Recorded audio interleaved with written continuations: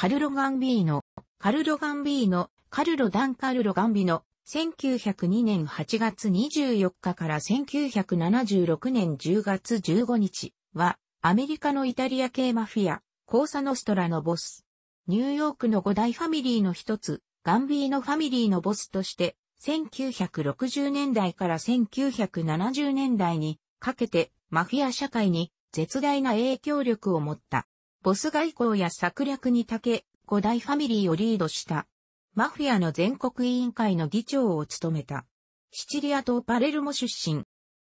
シチリア島パレルモのカッカモに生まれ育った。マフィアの家系で、父親トーマスもマフィアだった。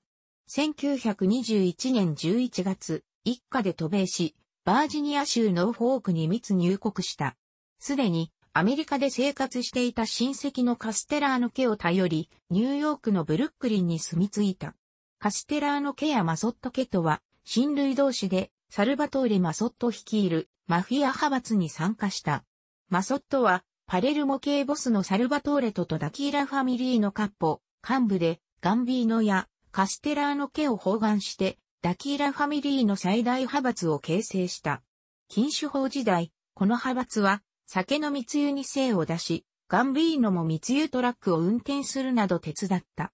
1926年、カステラーノ家のカタリーネと結婚した三男カズメを設ける。結婚時の職業は肉屋だった。やがて弟ポールと酒の密造を始めた。ニュージャージーの工場で粗悪なアルコール原料を使った混成酒を大量製造し、ブルックリンの貯蔵庫に移して闇市で売りさばいた。1930年代にかけて数十人体制のオペレーションに拡大した。財務省のアルコール取締局圧からマークされ、ガンビーのアウトフィットと呼ばれた。1930年11月、マサチューセッツで闇賭博で逮捕され、1934年10月種の脱税で逮捕されたが、いずれも無罪となった。マソット派閥は1928年10月のダキーラの死に伴い、ジョーマスセリアに服従したが、1930年のカステランマレーゼ戦争の途中マスセリアから離反し、戦争後は、ヴィンセント・マンガーノをボスに担ぎ上げた。サルバトーレ・マソットは1930年代に引退し、シチリア帰国、フランク・カステラーノ、ついで、カルロ・ガンビーノに、カモンの長が継がれた。1933年の禁酒法撤廃後も酒ビジネスを続けた。1937年7月、ガンビーノ兄弟率いる密輸組織が摘発され、総勢42人が捕まった時、禁酒法撤廃以来最大の密輸ギャングの摘発と報じられた。1939年の再逮捕で22ヶ月の禁錮刑と2500ドルの罰金を言い渡されたが、8ヶ月後に無罪放免された。1930年後半、別人になりすまして、シチリアの金融機関の知人と巨額の相場投機を行っていた。酒の密売で稼いだ資金でレストランを買収し、裏稼業の隠れ蓑とした。同性愛者が大っぴらに振る舞えないのに目をつけ、ゲイバーを開店した。やがて、金稼ぎの良さを認められて、正式に一家のカポに昇格した。第二次世界大戦中、配給制のフードスタンプに目をつけ価格統制局、オーパから盗み出して闇市で売りさばいた。オーパがフードスタンプを銀行に隠すと、オーパ職員を買収して、安値で買い上げ、転売して、さらに稼いだ。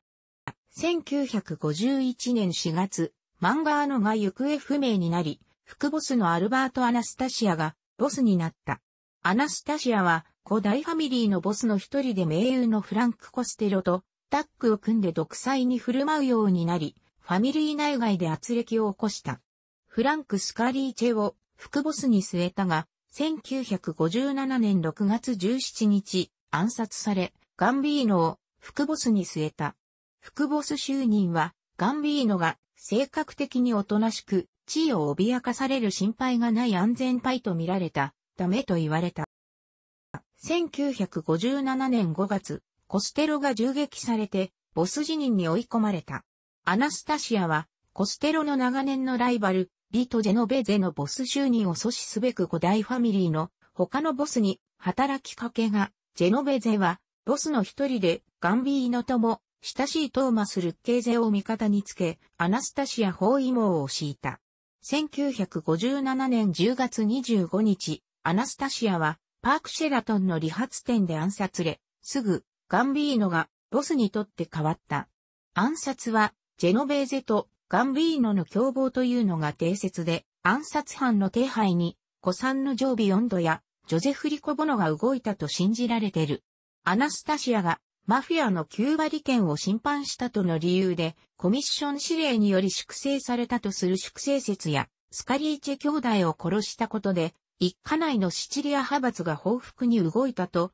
いう復讐説もある。ガンビーノは、ビヨンド、副ボスに、ジョゼフ・リコボノを相談役に据え、弟のポールをカポに昇進させるなど、一家の中核をシチリア・パレルモ派閥で固め、アナスタシアのカラブリア派閥を排除した。一家内部はしばらく極度に緊迫した空気に包まれ、ジェノベーゼやガンビーノに復讐しようとする動きもあったとされる。1957年11月14日、全米マフィアのアバラチン会議に参加し、同行したリコボノやカポのアーマンド・ラバラと共に警察に拘束された。ジョゼフ・ボナンノ・ジョゼフ・プロファチの同盟関係に対抗し、ルッケーゼとの連携を強化した1962年、息子トーマスがルッケーゼの娘と結婚。1962年初め後大ファミリー代表が参集したコミッションの場で、ガンビーノは1959年よりギャロ兄弟と内部構想を続けていたプロファチに対し、ボスを引退するよう迫ったが、ボナンノの猛反対で阻まれた。一説にギャロと密かに通じ、プロファチへの造反を煽ったのはガンビーノとされる。1962年6月、プロファチが病死すると、1920年代からのプロファチの盟友で、副ボスのジョセフ・マリオッコがボスを継いだが、ガンビーノはギャロの問題を解決していないと難癖をつけ、さらにマリオッコが、ガンビーノ、ルッケーゼ、ステファノ・マガリーノの暗殺を企てたとして、釈明を求めた。1963年8月、アトランティックシティでのコミッションで、マリオッコは、ボス辞任を余儀なくされた。1964年1月、ガンビーノは、精肉業で顔見知りだったジョゼフ・コロンボを旧プロファチ一家の新たなボスに推薦し、コミッションで認められた。ガンビーノらは、マリオッコが休断されたの時を同じくして、ガンビーノ暗殺未遂計画の背後に、ボナンノがいたとして、ボナンノにもコミッションの場で釈明するよう求めたが、1963年12月頃、ボナンノは、ファミリーのオペレーションを息子ビルに委ねて雲隠れした。その後、ボナンノ一家は内輪もめで分裂して構想するバナナ戦争がガンビーノの陰謀ではないかと噂された。1968年までにボナンノを引退に追い込んだ。フィラデルフィアのマフィアボスに仲間のアンジェロ・ブルーノを据え、ニューイングランドのボスのレーモンド・パトリアルカと緊密な関係を築いた。その後も全方位のマフィア外交を展開し、古代ファミリーをリードした。